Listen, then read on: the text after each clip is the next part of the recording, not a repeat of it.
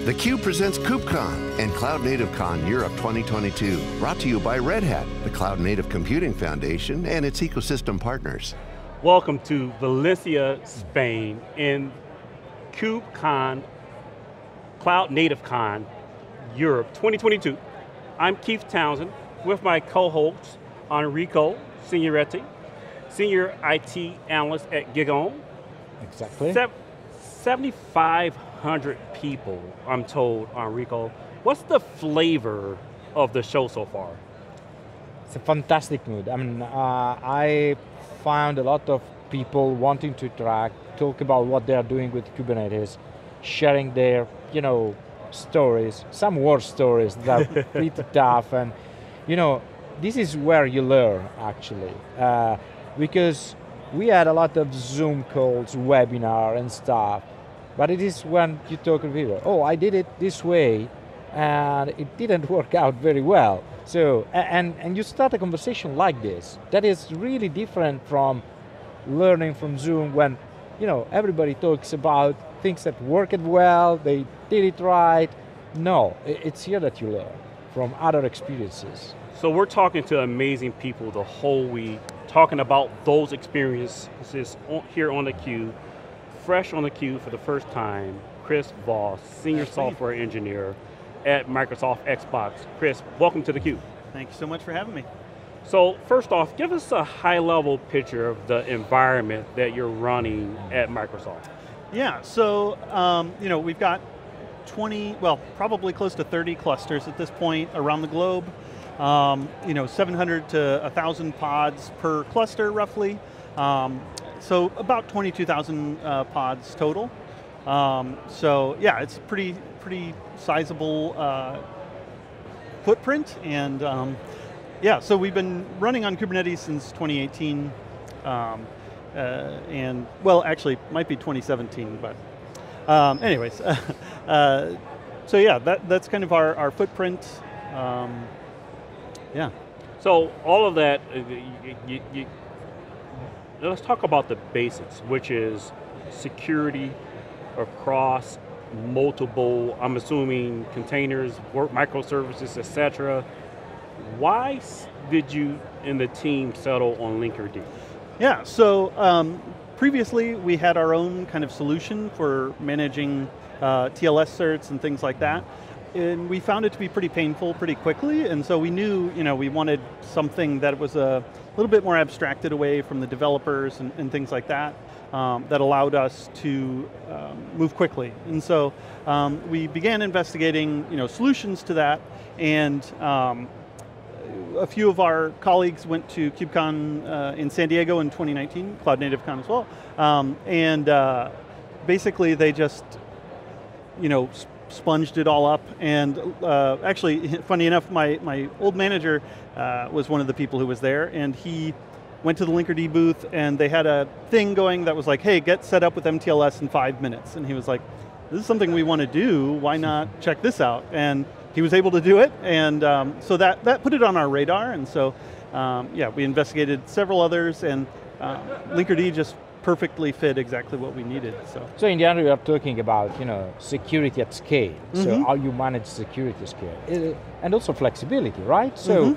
but uh, you know, what is the you told us about the five minutes to start using there, but mm -hmm. you know, again, we're talking about war stories. We're talking about you know uh, all these so what, what, what kind of challenges you found at the beginning when you started adopting this technology? So the biggest ones were around getting up and running with like a new service, especially in the beginning, right? We were, you know, adding a new service almost every day it felt like, and so, um, you know, basically it took someone going through a whole bunch of different repos, getting approvals from everyone to get the certs minted, all that fun stuff, getting them put into the right environments and in the right clusters to make sure that you know, everybody is talking appropriately. Um, and just the amount of work that that took alone um, was just a huge headache and a huge barrier to entry for us to you know, quickly move up uh, the number of services we have. So, so uh, I'm, I'm trying to wrap my head around the scale of the challenge.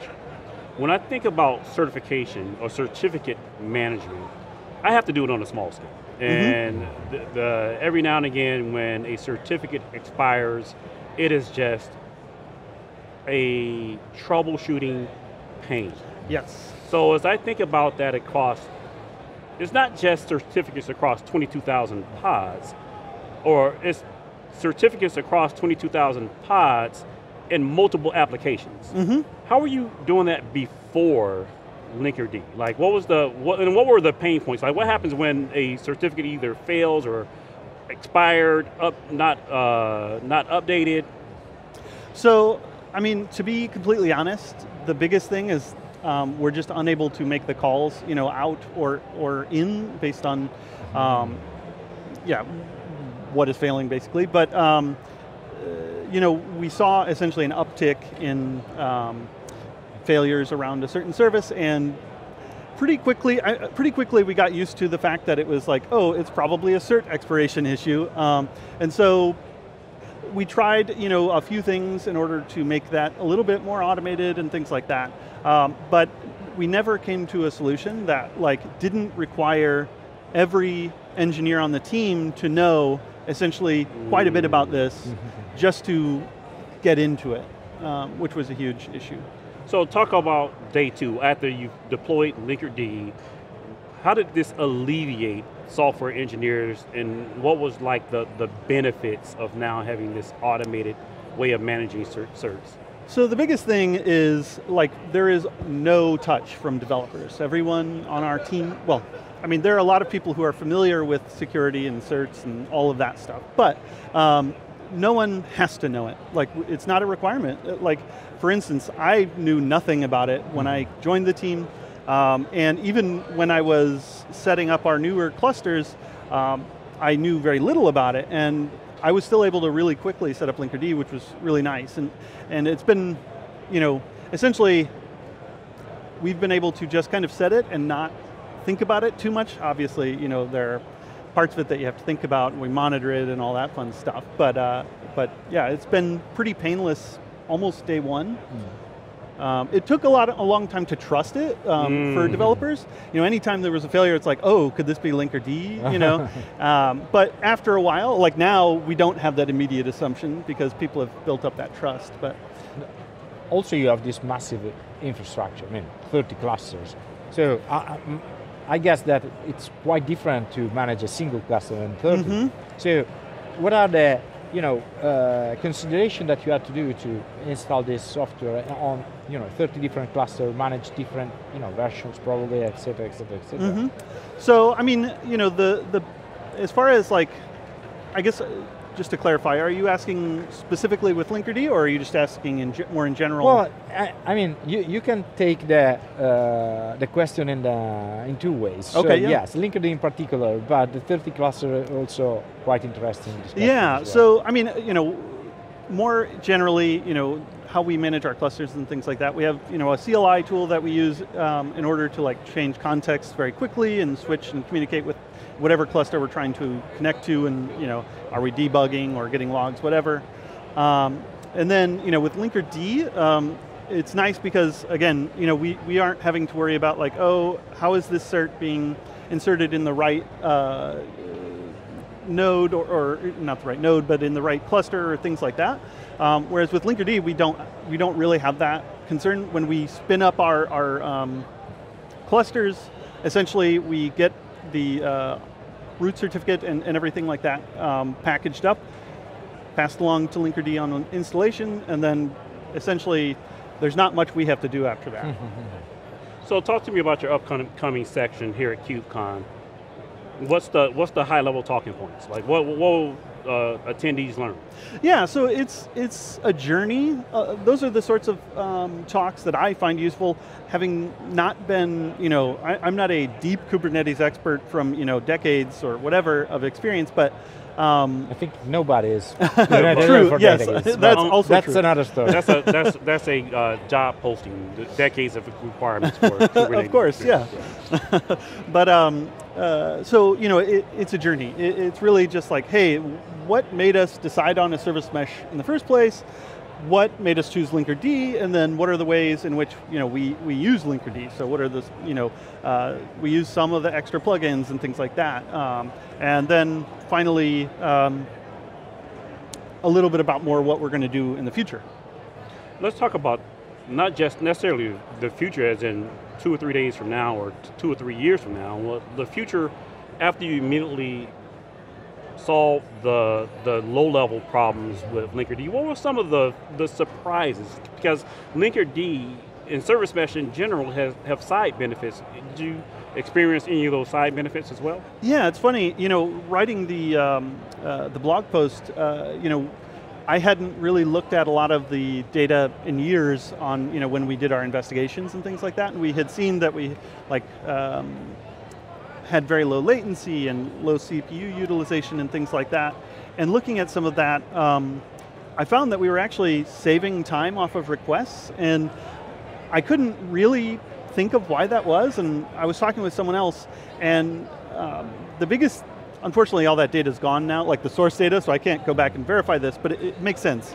Um, you know, there's the uh, uh, availability zone routing um, that uh, Linkerd supports. And so I think that's actually doing it where, you know, essentially if a node is closer to another node, um, mm. it's essentially, you know, routing to those ones. So when one service is talking to another service, and maybe on, they're on the same node, you know, um, it, it short circuits that and allows us to gain some, uh, some time there. It's not huge, but it adds up after, you know, 10, 20 calls down the line. Right, in, in general, so you, you are saying that it smooths operations in, and it's very, you know, simplifying your life. Mm-hmm. And again, we didn't have to really do anything for that. It, it, it handled that for us. It was there, yeah. Yep, yeah, exactly. So we know one thing, when I do it on my laptop, it works fine. When I do it with across 22,000 pods, that's a different experience.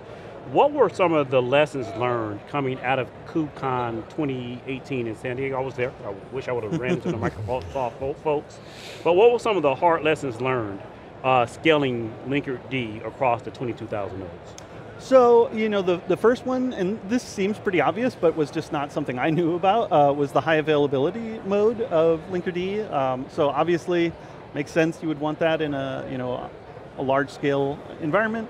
Um, so like that's one of the big lessons that like we didn't right away know. Like one of the mistakes we made in, in one of our pre-production clusters was not turning that on and we were hmm. kind of surprised. We were like, whoa, like all of these pods are spinning up, but they're having issues like actually getting injected and things like that. And we found, oh, okay, yeah, you need to actually give it some, some more resources but it's still very lightweight um, considering you know they have high availability mode, but it's just a few instances still.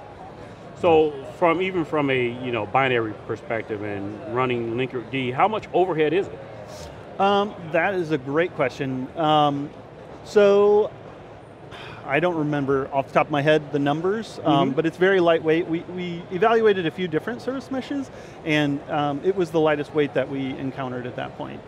And then from a resource perspective, is it uh, a team of Linkerd people? Is it a couple of people? Like, how?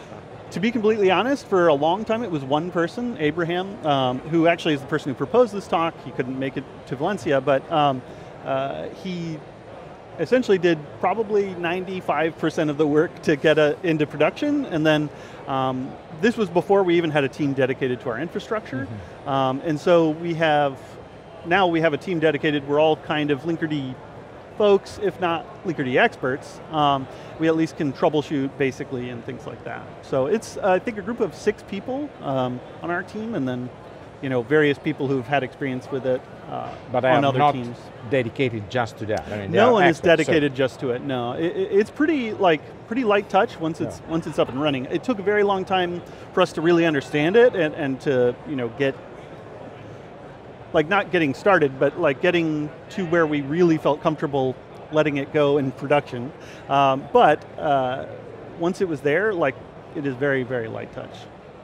Well, I really appreciate you stopping by, Chris. It's been an amazing conversation to hear how Microsoft is using an open source project Exactly. at scale. It's just a few years ago when you would have heard the concept of Microsoft and open source together, like, oh, that's just, you know, But, but them- they're- Microsoft changed a lot in the last few years. Now they are huge contributors, and uh, you know, if you go to Azure, it's full of open source stuff everywhere. So Wow, the KubeCon 2022, how the world has changed in so many ways.